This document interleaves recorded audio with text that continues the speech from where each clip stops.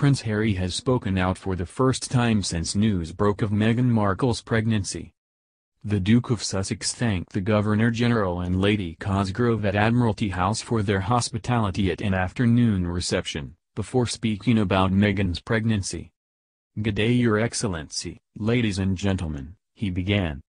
It is obviously great to be back in Australia and even more so because this is my wife's first visit here, so I'm very excited to show her this wonderful country of yours. Australia is of course home to some of the world's best sporting talent, but what you are about to see at these Invictus Games will, quite literally, astound you. During the speech, he spoke of his love for the country, and said he was thrilled he and Meghan got to share their pregnancy news while in Australia. He added, a demonstration of the power of the human spirit, the power of sport to change lives and the power of feeling part of all of this from the stands. There really is something for everyone. Thank you Your Excellency and Lady Cosgrove for giving us your magnificent home for the week. We are inviting all of our mates in Sydney. Finally, we are both absolutely delighted to be here. We are really impressed to see you serving beer and tea at an afternoon reception in true Aussie style. We couldn't think of a better place to announce the upcoming baby. Yesterday, Kensington Palace officially confirmed that the Duchess of Sussex was expecting. Their Royal Highnesses the Duke and Duchess of Sussex are very pleased to announce that the Duchess of Sussex is expecting a baby in the spring of 2019, they shared on Twitter. The news came after it was revealed that Meghan gave her first major sit-down interview since joining the royal family. Previously, New Idea learned that the palace was talking in riddles without stating the obvious before the royal tour to Australia and New Zealand before she was given the three-month all-clear.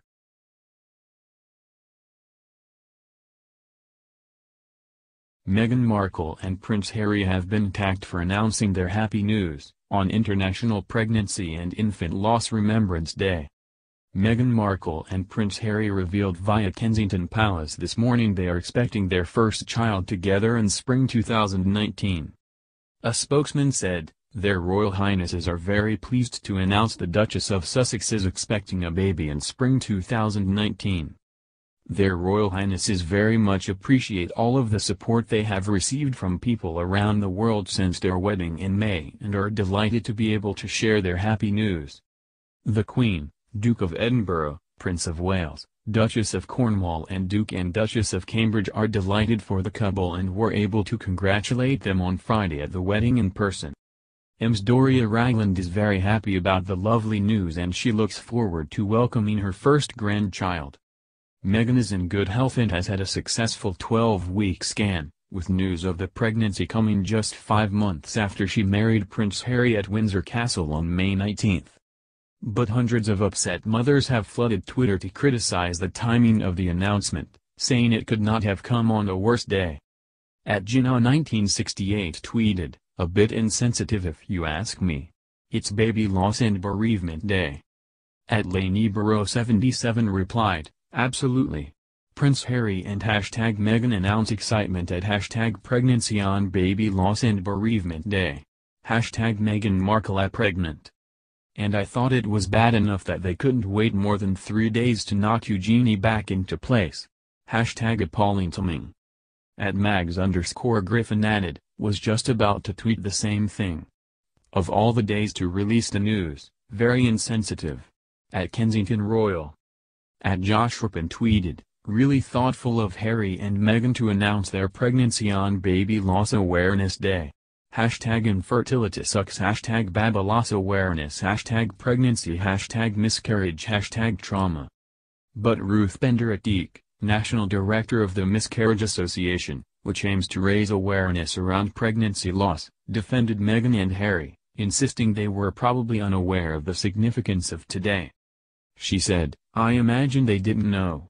I think it's as simple as that. For many people who have the deep sadness and grief of losing a baby, there was also that moment of joy when they wanted to announce their pregnancy. I can understand how people feel. It can be deeply hurtful but I have to be sure they had no idea of the significance of the day. Kensington Palace declined to comment. International Pregnancy and Infant Loss Remembrance Day marks pregnancy loss and infant death, including miscarriage, stillbirth, sudden infant death syndrome in any death of a newborn. It is observed each year in the UK, Canada, the US, Norway, Italy and Kenya, as well as the Australian states of Western Australia and New South Wales. Last night, Meghan and Harry arrived in Sydney for the start of their first global royal tour, which will see them take in Australia, Fiji, Tonga, and New Zealand. As well as being International Pregnancy and Infant Loss Remembrance Day, today, October 15th, also marks the end of Baby Loss Awareness Week, which began on October 9 and remembers the lives of babies lost in pregnancy or soon after birth.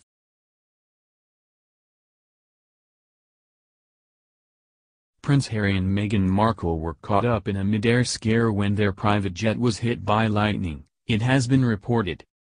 The Duke and Duchess of Sussex were traveling to an opening party in Amsterdam last month when the luxury Dassault Falcon 7X was reportedly struck.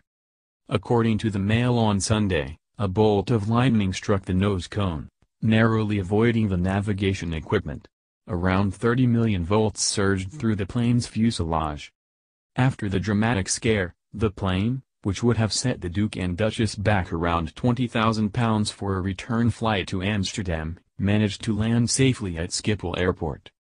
The aircraft was grounded for more than a week as it underwent repairs and safety checks, according to airport sources.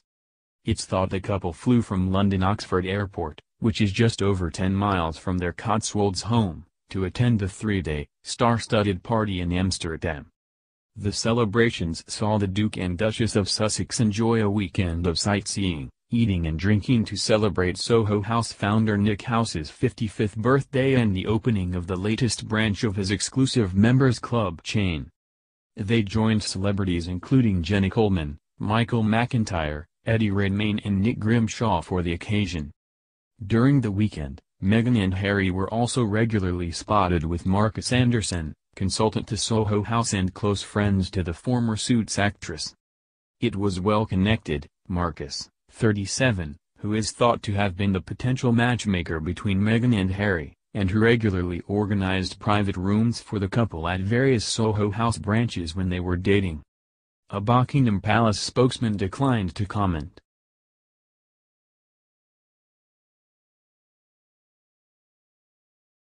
Today, Meghan Markle and Prince Harry made an appearance at the Coach Core Awards at Loughborough University, and on top of looking as great as always, Meghan was sporting something completely new. Her hair, which she usually wears curly or in a bun, was pinned straight, with, it looks like, some V-fresh layers. Take a look. Because I am a journalist and I care about these things, I combed through 60 plus pages of the latest pictures of Meghan and found she hasn't worn her hair like this since at least before her wedding to Prince Harry. This is her usual style. You may be thinking, What's the big deal about this? So the girl changed her hair. But, there's something important to note here. When Kate Middleton announced her third pregnancy, one reporter noticed a very subtle pattern.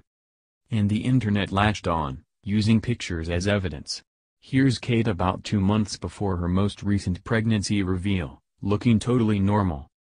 Taking it back a little further, here she was in the summer of 2014 two months before the news of baby Charlotte was announced.